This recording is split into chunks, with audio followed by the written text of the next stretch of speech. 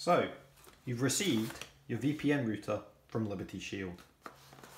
This is the light model of the VPN router. So we'll open the box and the first thing we'll do is put the quick start guide to one side. We'll come back to that later.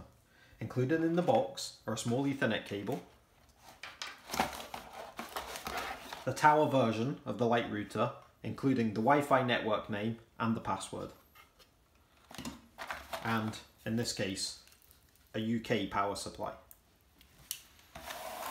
So we would connect the power supply to the mains and then the next thing you would do is take the ethernet cable, use port 1, the one closest to the power line and connect it to any port on your internet provider router, in this case Virgin Media.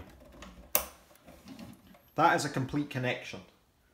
At this stage, you would take the guide and go to libertyshield.com forward slash activate to commence your free trial using this code.